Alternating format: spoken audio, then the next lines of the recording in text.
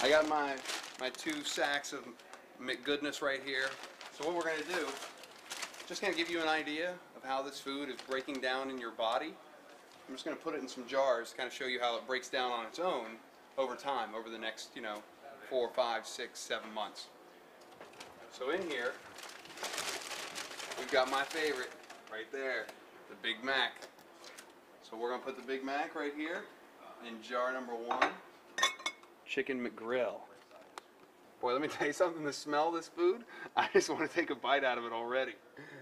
One of the worst things on the whole menu, the filet o fish. Look at that thing. It still looks terrible. Going right in there. Next, quarter pounder. That actually looks like meat. There's the quarter pounder. Some fantastic fries. We're just going to dump right in this jar. Right there. In that last jar, we're going to get a hamburger from up the street. From a place where they actually make real hamburgers. Where they take the patties and they press them with their own hands and put them on the grill. You know, it's like real meat. And lastly, French fries from a regular restaurant. See what happens at the same time. Two weeks, French fries from a regular restaurant.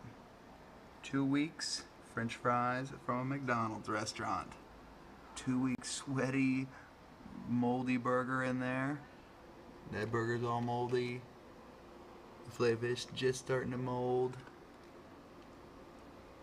That's some kind of cheeseburger. And the Big Mac, still nothing. Big Mac hasn't even started to mold yet. Big Mac, still looks like we just bought that thing. Lettuce, a little moldy. Chicken McGrill, definitely seen some better days. That thing is beat up. Filet of fish, look at that white fuzz on the top of it. The quarter pounder, that thing's got a rainforest going on inside there. This burger, same thing. Look, it's starting to get juicy on the bottom. The bun is just like coagulating into some kind of goo. Here's the regular french fries. Those things are black and crazy. Want to see what the McDonald's french fries look like? Check this out. That's right. Some kind of fluke of nature. That's right. This can't explain. But this is what you're eating every time you get these fries.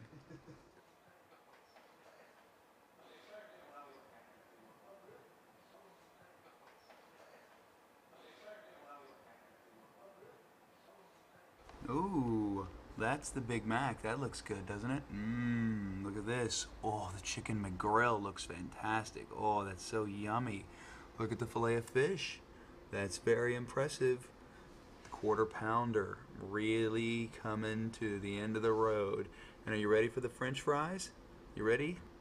That's right. Look at that, folks. Why are these not breaking down? That's a really good question. And you have to ask yourself, wow, what's that doing in my stomach then?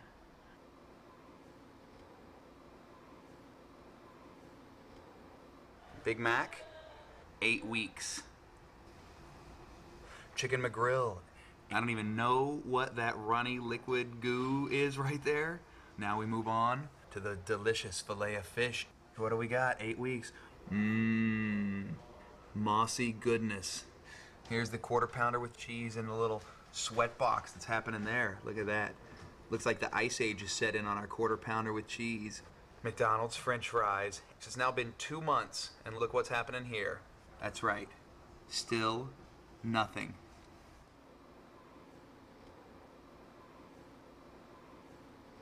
10 weeks on the Big Mac. Frosty goodness.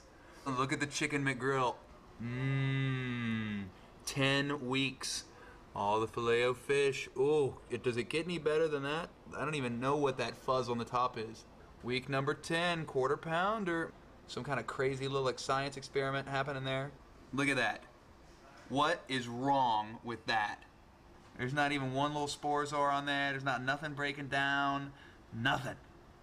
Looks like we bought them yesterday.